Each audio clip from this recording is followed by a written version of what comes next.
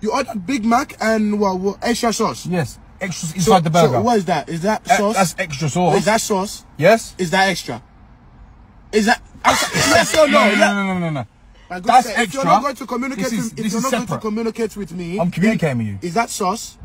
Yes. Is it extra? No, it's separate. It's separate, but is okay. it extra? But it's not extra because the extra would be in the burger. No, the extra. It doesn't matter if the extra's in the sky. It's extra. it's extra. It is doesn't matter.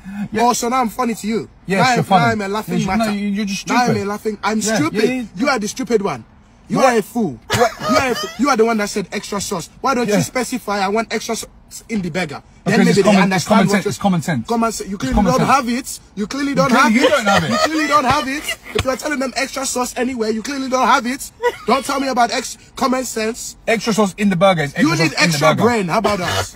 That's what you need. You need extra manners in customer Extra service. manners.